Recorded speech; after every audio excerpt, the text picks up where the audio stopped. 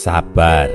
Dengan mempertimbangkan perkembangan beberapa indikator kasus pada minggu ini, pemerintah memutuskan untuk melanjutkan penerapan PPKM level 4 dari tanggal 3 sampai dengan 9 Agustus 2021 di beberapa kabupaten kota tertentu.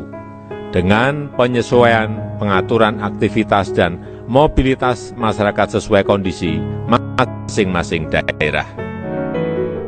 Sabar.